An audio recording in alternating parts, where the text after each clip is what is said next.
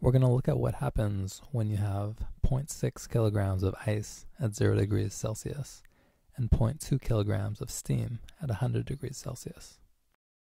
So, a few numbers that are going to be useful. One is the latent heat of fusion for water is about 334 kilojoules per kilogram. That's about 3.34 times 10 to the fifth joules per kilogram. The latent heat of fusion is where ice turns into liquid water. The latent heat of vaporization for water, so when water goes from liquid to steam, is 22.6 times 10 to the fifth joules per kilogram. And also the specific heat of water, 4,186 joules per kilogram multiplied by degrees Celsius. These numbers of energy per unit mass are the amount of energy that it takes to go from one state to the other. So you could go, for example, from ice to liquid or from liquid to ice, and you'd use the same number. The transition would either take the energy or release the energy. Let's start with the 0.2 kilograms of steam at 100 degrees Celsius. I'm going to say that it's going to all turn into liquid water. And in the state transition, it's not going to change temperature, it's just going to change state. We're going to use the latent heat of vaporization in this calculation. As the water steam turns into liquid, it's going to release the energy from the calculation.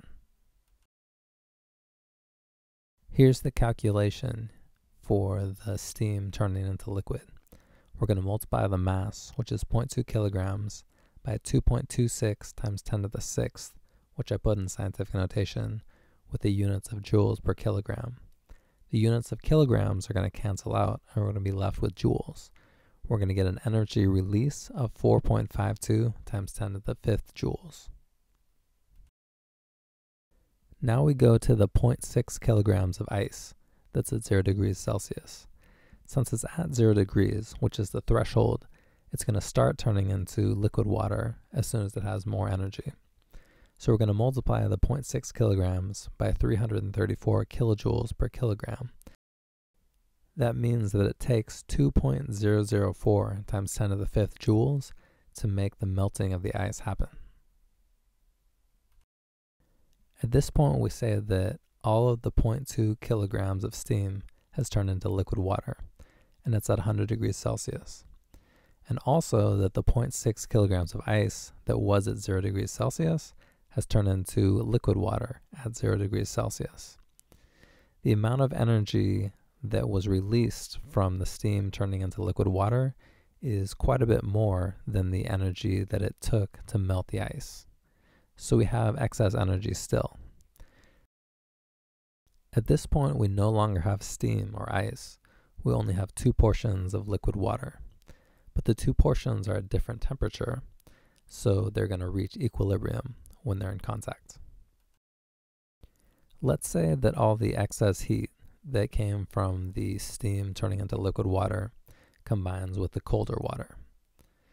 So we're going to take the mass of the colder water, which is, starts at 0 degrees Celsius, the 0.6 kilograms, we're going to multiply that by the specific heat of water, which is 4,186 joules per kilogram times degrees Celsius. And we're going to multiply that by what we're going to say is a change in temperature of 100 degrees Celsius. That would take 2.5116 times 10 to the fifth joules of energy. Even though it took that much energy, we still have a little bit of energy left we have turned the 0.6 kilograms of ice into water that is now 100 degrees Celsius. And we say that the 0.2 kilograms that was steam is now liquid water at 100 degrees Celsius. We still have 440 joules left though, which isn't really a lot of energy, at least compared to the amounts of energy we've seen in this problem so far. Now we have 0.8 kilograms of water that's liquid at 100 degrees Celsius. If it's at 100 degrees Celsius, if it gains more energy, that's going to turn into steam. So we take the amount of energy we have in joules, we divide it by the latent heat of vaporization, and we're going to end up with the mass of water that turns into steam. That steam is going to be at 100 degrees Celsius though, because it doesn't change temperature, it only changes state when it goes from water at 100 degrees Celsius to steam at 100 degrees Celsius. So out of the 0.8 kilograms of liquid water at 100 degrees Celsius, 19 grams of it turns into steam that is also at 100 degrees Celsius. So most of the water is liquid, only 19 grams of it is steam, but it's all at 100 degrees Celsius.